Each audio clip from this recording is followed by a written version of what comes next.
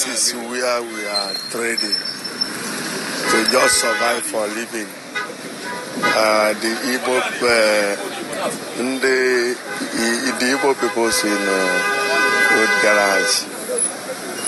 We are not partisan. And they said that the reason why we them are breaking it is because we are part of PDP that uh, uh, that we are part of PDP and that we are the people that voted PDP in to win. Yes, we can cast our vote and we make our choice. I don't see the reason why it will be like this because we have every reason to uh, uh, exercise our franchise. I don't see the reason why it will be like this. It's not like this. It's not supposed to be like this. Let them tell us. If we are not the same one Nigeria, they will tell us. If they want us to leave, let them tell us. It's not like this, and it's not supposed to be like this. Yes, and I still know that even in our side at uh, Igbo land, we still have brothers and sisters like uh, uh, Yorubas. They are still in our place. We are not treating them like this.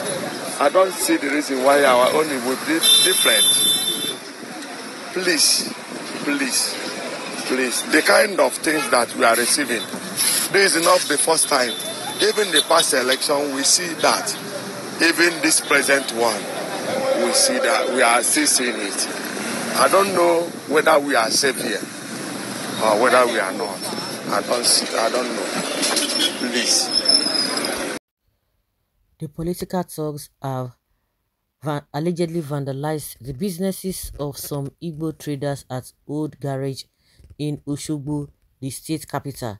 In a viral video cited by Daily Post, shops of traders from the eastern part of the country were attacked over their alleged choice of candidates in Saturday's governorship election. A man behind the camera alleged that the thugs vandalized their counters for supporting Senator Ademola Adeleke, the People's Democratic Party PDP candidate in last Saturday's gubernatorial election. Confirming the attack, the chairman of Ohaneze Ndigbo in Osun State, Pastor John Dike, said no one was injured, adding that everything is under control. He said the people who destroyed the counters belonging to the Igbo traders were dissatisfied with the outcome of the governorship election. You know, in an election like this, you can't rule out the possibility of dissatisfied persons. It is not anything serious. Some of our people had their counters destroyed, but we have brought that under control as I speak to you now. We are not taking any serious actions against it because we know that there are skirmishes of things like this when elections come up and go. The Yorubas that we live in their land are peace-loving people and we have been living friendly. So it is something we can handle. There's no one injured as I speak to you, he said. You're just trying to be politically correct. Nobody has right. So you want to sweep it under carpet. If really what you are saying is true or what is being said is confirmed that it is true, irrespective of how minute or how big the situation might be, nobody has right to do that. It's unfortunate that uh, we encourage this kind of nonsense. So if somebody votes for anybody now, they are the ones that will tell you that uh, Igbos are very abusive and all of that. If somebody is even abusing you, than those who will come physically to attack you or to assault you, what does who is not better off? Because what they do is what they always accuse of accuse others of doing. No matter how this their chairman wants to try to downplay this is very, very, very, very wrong. If it is true, unless if it is not true, if it is true, but for you to come and be defending them makes no sense. So next time they will do worse. So you think uh, to make someone to cause discomfort for someone, you think it's an easy thing, or you think uh, it could not escalate more than that. I see no reason why these people are always trying to be politically correct. We cannot be intimidated. Even his own Lagos will be fight to finish. Hmm. Why is it that Hausas and Yorubas don't even want us and yet they don't want to leave us to go home with our Grace Biafra? Hmm. all of you need to move back home so that Nigerians can understand that you are serious about it. Go back to your village. Mm. They should go back to your village. You so you have to go and tell all those people in diaspora to come back to their village or all those people. Is that how it's being done? So when uh, Nigeria got a, its independence, all the British people did they go back? Don't we still have a, their what is it called their embassy here? Some of some of uh, you who are always saying some some people are not uh, sensible. You tell somebody to go back, to go back to what? You are you in your right in your village? If everybody should just go back to their village, what is Buhari looking for up and down? Even as we we are a sovereign country. What is Buhari looking for in other countries? Visiting and doing all manner of things. Why is it that we cannot do everything on our own here? You, you people talk nonsense. Some of you that you call yourself Yorubas, you talk rubbish that people should go back to their listing. So you think uh, they don't have Yorubas in, in other places? No, when they talk about a uh, Yoruba nation, so does it mean all the Yorubas all over the world, they will not live uh, wherever they are because uh, of Yoruba nation? You guys, uh, you talk like a uncultured people and people who are not who do not even reason. Does that really make sense? I don't understand.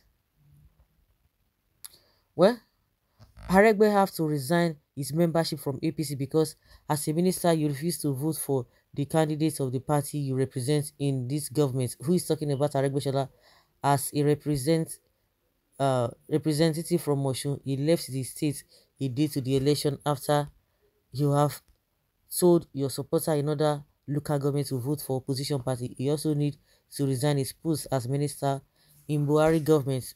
Okay, people are talking of a vandalization of a Igbo's property. This one is still talking about a Aregbesola. What is the population of a Igbos compared to the population of a Yorubas that voted uh, for Adiliki? Hmm.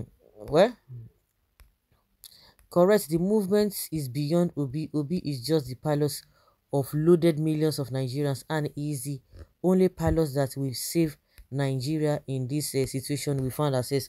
I read uh, one thing that uh, Charlie Boy said. He said Obi is not the savior of uh, there's a way he put it, but that is I'm just trying to paraphrase that Obi is not the or savior or somebody that's going to make Nigeria better. That it is the youth, it is the Nigerians that will do that. If he's just sitting there, he said he can do this. If the people don't give him the opportunity or don't give him the chance, he will do nothing. So if we want things to be better, you know, it is not him, it is you and I that will make things to better to choose the person that will do the right thing. Zoo Nigeria, if you are tired of Igbos, please divide the country, let Igbo go. Because there's nothing we can do to please Zoo Nigeria. You want us to stay in Nigeria, but when exercise our rights as citizens by voting our choice of candidates, you will pick offense before we know you're asking us to go back to our place. If you really want us to go back to our place, that is good. Then divide the country so that we know that uh, we are no longer one.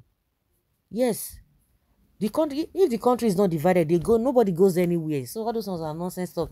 They are very irritating ways if the country is not divided nobody goes anywhere so get that into your score and at the end of the day they are the ones oh because all of a sudden when people started supporting uh, obi now they are the ones that are saying that say oh eh, face your obi eh, don't force me to vote to vote for anybody so what is now happening now you are going physically to attack people if it is true because the statement by this uh, the whether the Ohanese or the chairman of the Igbos in that uh, state saying that uh, it is not something to worry about it's wor it's worrisome. You will they'll be telling you, hey, vote your B, make a vote my this, but why they going physically to attack them? Does that really make sense? Hmm. Well, but those Igbos are not serious. Why would they partake in politics? I am an Igbo man, but I don't like the mentality of our brethren. Sometimes that is what they did after 1966 coup that led to Igbo killing in the north what they did what did they do that made them stupid voting the right person choice abi you are not serious of course some people a lot of people are just some people don't even know they are left from their right uh, votes they will say they don't vote. They come and vote they it is a problem. Oh they don't support their people. If they come to support oh it's only people that are supporting. What kind of mentality is this? The so-called politicians have really mesmerized the minds of people. They've just disabused the minds of people. People don't even reason well. This is like to be fake and false propaganda concocted by Peter supporters whose party could not score up to 5,000 votes despite the personal presence of uh, the this in the campaign ground. But see, Jagaban has worked alone and in vain. oh my God, Obi could not get five thousand, and the one that get uh, whatever, where is he today? Hmm. You mean Ohaneze is holding a propaganda hmm, insult? I am ready. Say this before. I've already said this before that uh, the wake up of a Yoruba nation to end Igbo's domination in Yoruba land. that is why you cannot travel out to know how real human being behave. Remain Agbero in Yoruba land because of your hatred and wickedness to other people. Mm. So sorry for the vandalism, but don't see it as an offense to Yoruba people here. It is our great country problem everywhere. Even they did it to themselves in their own town. Talk less you people from other sources. Even you in your own land, you are doing the same thing to your own people in your land, but it is not good idea. Not a good idea, but uh, to our it's not a good idea to our policies. We haven't even matured enough in policies in Nigeria. May God open our blind eyes to see. The aggrieved people have misplaced aggression by attacking the Igbos. What would have happened in the Labour Party if Labour Party have won the governorship election that have an Igbo man as uh, their presidential candidate? Let the Yorubas be magnanimous in defeat. At the end of the day, the person with that won is a Yoruba person. Does it really make any meaning? In fact, uh, something is really wrong in this country. Wow!